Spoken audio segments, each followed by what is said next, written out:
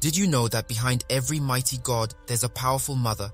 Let me explain. Frigg, the Norse goddess who is not only the queen of Asgard, but also the mother of the mighty Thor. Frigg is revered as a goddess of love, marriage, and motherhood. She's known for her wisdom, compassion, and protective nature. But here's a fascinating fact. Frigg's love for her son Thor knew no bounds. She played a crucial role in shaping his destiny and providing guidance along his heroic path. Frigg reminds us of the power of maternal love and support.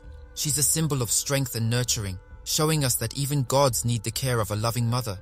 So, the next time you think of the mighty Thor, remember the influential role of Frigg, the mother of thunder. She's a testament to the enduring love of a mother and the backbone of Asgard. What do you think of this fascinating story? Share your thoughts in the comments below. Until next time, may the gods always guide your path.